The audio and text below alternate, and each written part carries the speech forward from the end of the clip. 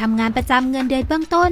15,000 ถึง 20,000 บาท ซึ่งถือว่าถูกมากเมื่อเทียบกับรายจ่ายที่เพิ่มมากขึ้น คนที่มีภาระผ่อนบ้านผ่อนรถ รวมค่าเดินทาง ค่ากิน ค่าเช่าบ้านสำหรับบางคน แต่ละเดือนอย่าหวังว่าจะมีเงินเหลือเก็บ แค่เอาให้พอกินแบบเดือนต่อเดือนยังทำไม่ได้ ด้วยเหตุผลนี้ไทยแฟนชส์เซ็นเตอร์เชื่อว่า หลายคนอยากหาช่องทางสร้างรายได้เพิ่ม แต่คำถามคือ ยุคนี้จะขายอะไรที่ขายง่ายขายดี และไม่ต้องลงทุนมาก ตัวเลือกที่อยากจะแนะนำคือขายกะเพราห่อซึ่งบางคนที่ประสบความสำเร็จมีรายได้ดีกว่าทำงานประจำหรือบางที่ตัดสินใจลาออกจากงานมามุ่งมั่นทำธุรกิจนี้แบบเต็มตัวกันเลยทีเดียวทำไมกะเพราห่อถึงน่าสนใจ พูดถึงผัดกะเพราเราไม่ต้องบรรยายถึงสรรพคุณเพราะนี่คือเมนูสตรีทฟู้ดที่ดังไปทั่วโลก คนไทยเองก็คุ้นเคยกับเมนูนี้อย่างดี ไม่ว่าจะเป็นผัดกะเพราหมูกะเพราเนื้อกะเพราไก่กะเพราหมูกรอบถึงขนาดที่บางคนเรียกว่าเป็นเมนูสิ้นคิด คือคิดอะไรไม่ออกก็เลือกสั่งผัดกะเพราไว้ก่อน สะท้อนให้เห็นถึงกระแสความต้องการที่ชัดเจน เหมือนเป็นเมนูที่อยู่คู่คนไทยมาทุกยุคทุกสมัย และที่สำคัญไม่ต้องเรื่องมาก ทานง่าย ราคาไม่แพงเมื่อเทียบกับเมนูอื่นๆในส่วนของคนขายก็วิธีการทำไม่ยุ่งยาก อาศัยมีสูตรเด็ดเคล็ดลับในการทำให้อร่อย มีเอกลักษณ์เป็นของตนเอง และที่สำคัญไม่ต้องลงทุนมาก อาจจะเริ่มต้นจากอุปกรณ์ที่มีอยู่ในครัว ตั้งโต๊ะสำหรับขาย เงินทุนส่วนใหญ่คือค่าวัตถุดิบ เช่นเนื้อสัตว์ต่างๆ ไข่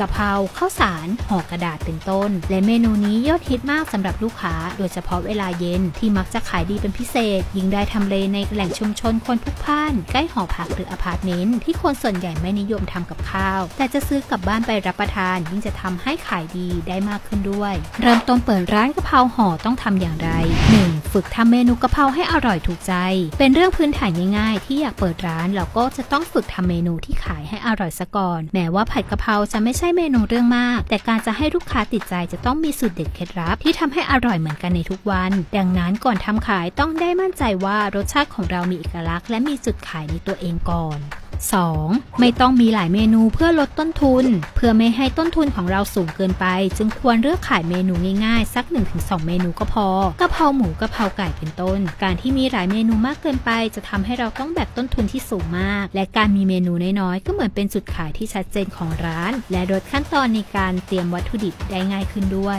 3. บริหารจัดการต้นทุนวัตถุดิบให้มีคุณภาพ ทุกวันนี้ต้นทุนวัตถุดิบเพิ่มขึ้นทุกอย่าง ทั้งราคาเนื้อหมู เนื้อไก่ไข่น้ำมัน ดังนั้น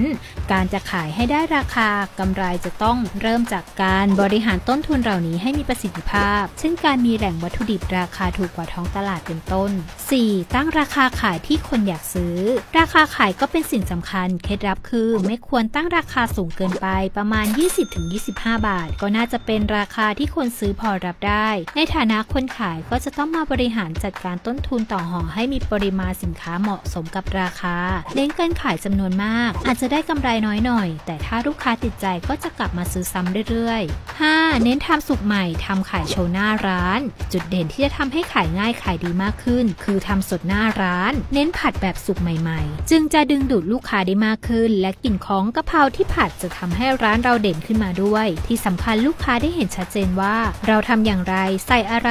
ผัดแบบไหนเป็นเสน่ห์ที่น่าสนใจของร้าน ทั้งนี้เราอาจจะทำการตลาดออนไลน์ควบคู่กันไปด้วยก็ได้กะเพราห่ออาชีพน่าสนใจพัฒนาสู่การทำเป็นแฟรนไชส์ได้ คนที่ประสบความสำเร็จในการเปิดร้านกะเพราห่อมีให้เห็นกันอยู่ไม่น้อย บางคนขายได้เกินวันละพันห่อ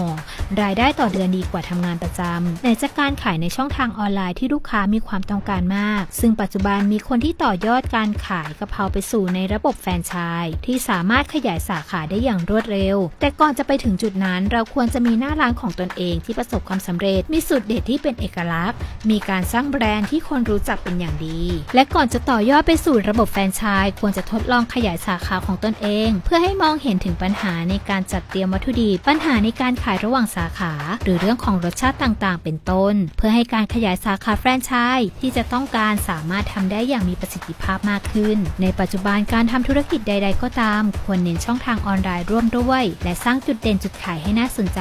แม้จะเป็นเพียงสินค้าง่ายๆ อย่างผัดกะเพราแต่มีกลยุทธ์การตลาดที่ดี รู้จักใช้เทคโนโลยีเข้ามาช่วยทำการตลาด ก็อาจจะกลายเป็นธุรกิจที่เติบโตอย่างรวดเร็ว มีโอกาสในการสร้างรายได้ที่ดีกว่าทำงานประจำหลายเท่าทีเดียว